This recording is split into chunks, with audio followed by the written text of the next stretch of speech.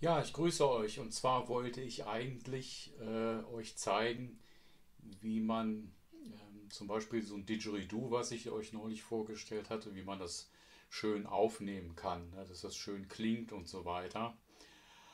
Und da wollte ich euch zeigen, wie ich, äh, das ist hier übrigens das Didgeridoo zur Erinnerung.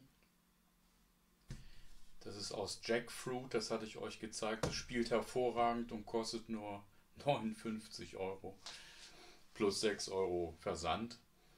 Und hier bin ich jetzt in meiner Soundecke. Da habe ich halt, da sind die Monitorboxen da oben. Und hier ist mein Notebook mit zwei Monitoren und hier steht so ein kleiner Synthesizer rum und da ist, steht noch einer rum. Extra Tastatur Mikrofon.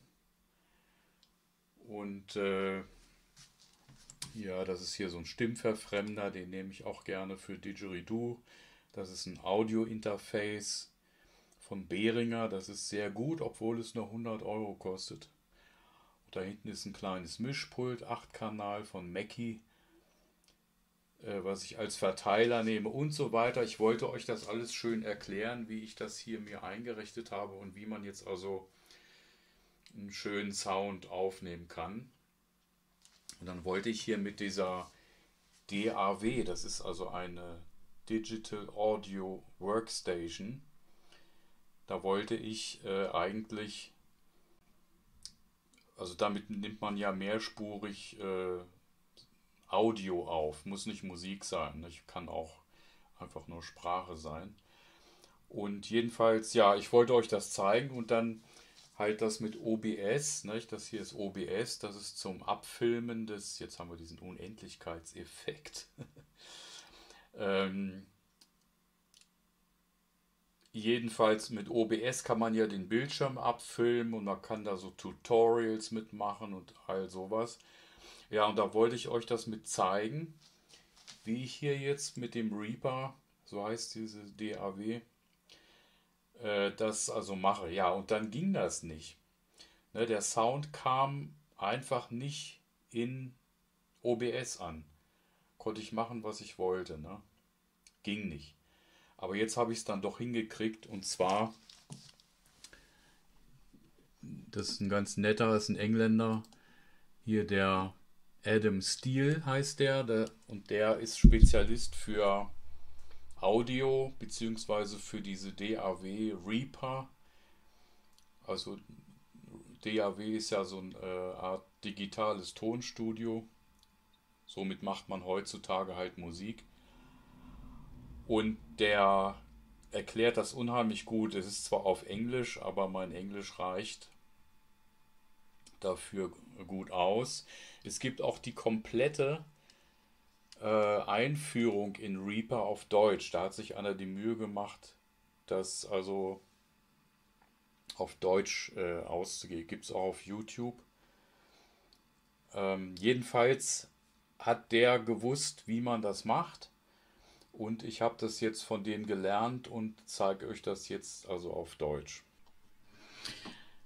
Ja, und hier seht ihr jetzt also, das ist dieses äh, Reaper DAW, also eine DAW nennen wird es auch manchmal so genannt.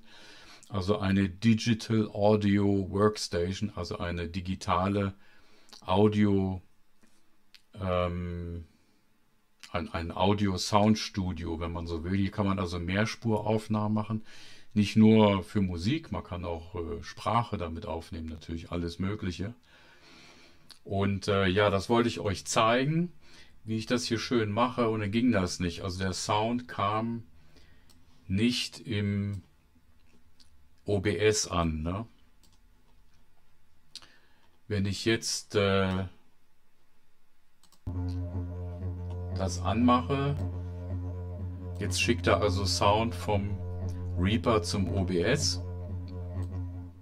Ich mache es mal ein bisschen leiser, damit es nicht ich mache es jetzt einmal ganz laut. Damit ihr hört, wie es klingt. So, jetzt habt ihr gehört, wie das klingt. Und hier zappelte gar nichts, ne? Weil der Sound einfach nicht ankam. Und ähm, jetzt habe ich also gelernt, wie man das macht und zeige euch das. Das erste, was ihr machen müsst, ist auf diese Seite hier gehen. Ähm, das ist von Reaper. Ich mache euch den Link in die Videobeschreibung. Unter dem Video findet ihr die. Falls ihr mit dem Fernseher YouTube guckt, dann werdet ihr das nicht finden. Auf dem Handy ist es zu finden ein bisschen schwierig. Da muss man rechts oben ist so ein kleiner, kleines Dreieck, was nach unten zeigt und da muss man so drauf tippen. Dann findet man die Videobeschreibung. Jedenfalls müsst ihr das hier runterladen, entweder 32-Bit oder 64-Bit. Für die allermeisten wird es natürlich 64-Bit sein. Das dann einfach installieren, das Paket. Und dann seid ihr wieder in Reaper, habt das neu gestartet. Dann sind die äh, alle aktiv, die neuen Plugins. Und dann geht er hier bei Master auf Mal kurz gucken, ob mein Sound noch geht. Ja. Geht er hier beim Master auf FX.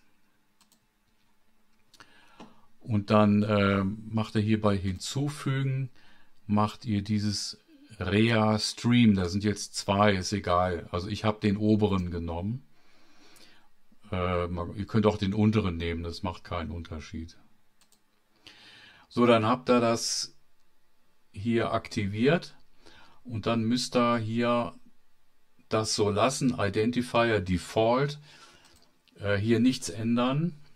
Enabled bleibt natürlich. Und bei normalerweise steht es auf Receive. Aber wir wollen ja jetzt Sound nach OBS senden. Deswegen steht es auf Send Audio. Und da habe ich gewählt, man kann zwei Sachen hier wählen. Broadcast und Local Broadcast. Und weil es ja lokal ist, ist ja hier, bleibt ja auf dem Rechner, es geht ja nicht raus irgendwo ins, in eine Cloud oder was weiß ich, ins Internet oder sonst wohin. Könnte man auch, aber machen wir ja nicht. Ähm, Local Broadcast wird das hier eingestellt. Und dann beim, beim OBS, das ist jetzt lustig, da hat der äh, Adam Steele, der hat da einen tollen Tipp gegeben und zwar müsst ihr euch hier mit Plus auf hinzufügen ein äh, Audio Eingabe, also eine Aufnahme ist das halt, ne? Einrichten, das habe ich jetzt schon mal gemacht. Und das, ich habe das mal Audio Reaper genannt, damit man das gut erkennen kann. Und ich klicke da jetzt mal doppelt drauf, dann sehen wir, was ich da gemacht habe, das hat der Adam Steele nämlich empfohlen. Man soll hier ein Gerät einstellen, was überhaupt keinen Sound ausgibt. Und da habe ich jetzt den Sound von meiner Webcam, mit der ich jetzt, mit, mit der ich mich abfilme, habe ich davon genommen und habe die aber auf ausgeschaltet, ne? Auf komplett aus. Ich zeige euch auch gleich, wie ich das gemacht habe. Und zwar bin ich hier auf Sound-Einstellungen gegangen und habe dann hier mir bei der Eingabe den äh, hier Mikrofon Webcam habe ich mir ausgesucht. Dann habe ich bei den Geräteeigenschaften, dann gibt es hier noch zusätzliche Geräteeigenschaften hier rechts. Da habe ich dann bei Pegel habe ich hier das komplett ausgeschaltet, ne? damit es überhaupt nichts aufnehmen kann. Mein Mikrofon geht noch, das sehe ich hier, wo es hier so zappelt. Und ähm, da habe ich also jetzt das von der Webcam das Audio eingestellt, was, was inaktiv ist, aber ihr solltet das nicht deaktivieren. Das solltet ihr auch nicht tun. Ähm, dann ist es nämlich weg, dann könnt ihr es nicht mehr auswählen. Einfach nur den Sound, wie ich es gezeigt habe, ausschalten. Und dann kommt das Entscheidende. Und zwar geht ihr dann hier auf, auf mein Audio Reaper in diesem Fall mit dem Rechtsklick und dann auf Filter.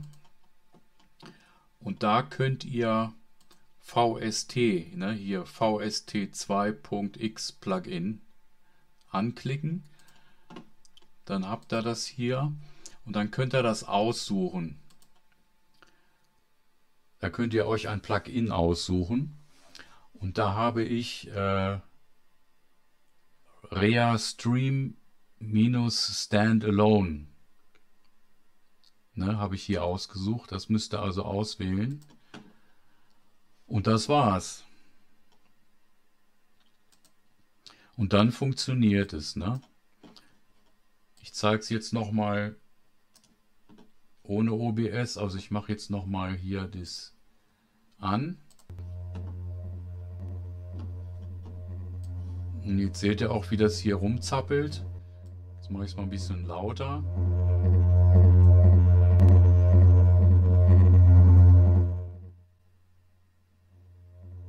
Ja. Und das war's. Also mehr müsst ihr eigentlich nicht machen. Ne?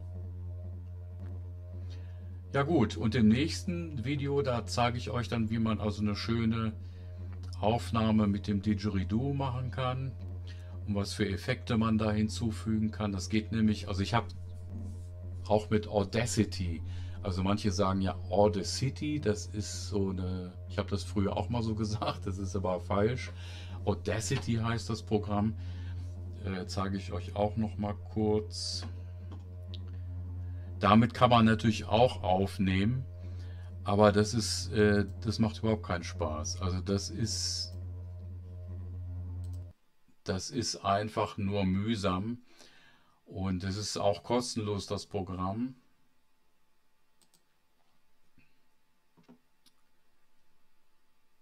Was will der von mir? Ach so, da hatte ich ja, ach ja, da hatte ich mit rumgespielt, ne? Da hatte ich also, da hatte ich verschiedene Sachen ausprobiert, um die, um mich vorzubereiten. Das ist Audacity, damit kann man auch aufnehmen. Ne? Das geht schon. Jetzt fliegt hier eine Mücke hier rum. Ähm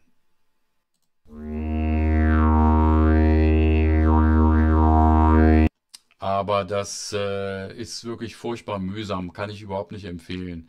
Das ist gut, wenn man mal so eine einzelne Audiodatei äh, auditieren, ähm, editieren will also irgendwie verändern will, aber jetzt für ein Mehrspurprojekt würde ich es nicht nehmen. Mache ich mal wieder schnell wieder aus.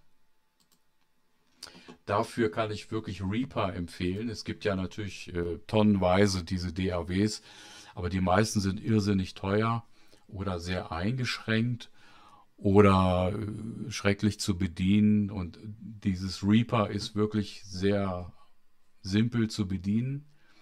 Für so ein komplexes Programm muss man natürlich dazu sagen. Also das Programm kann ja so einiges. Und es wird auch von Profis verwendet. Immer mehr sogar, immer häufiger.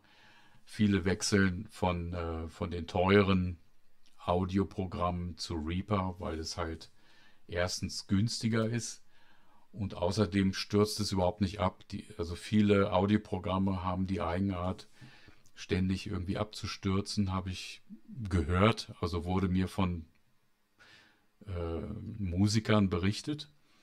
Und Reaper nicht. Ne? Das ist sehr, sehr stabil. Gut, ich denke, das soll es erstmal gewesen sein. Also so könnt ihr das hinbekommen, dass äh, Reaper auch in OBS äh, hörbar wird. Ne?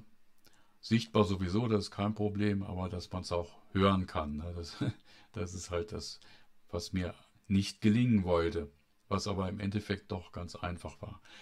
Gut, alles klar, macht's gut, bleibt schön gesund und äh, viel Spaß mit dem teilweise wirklich tollen Wetter. Bis dann.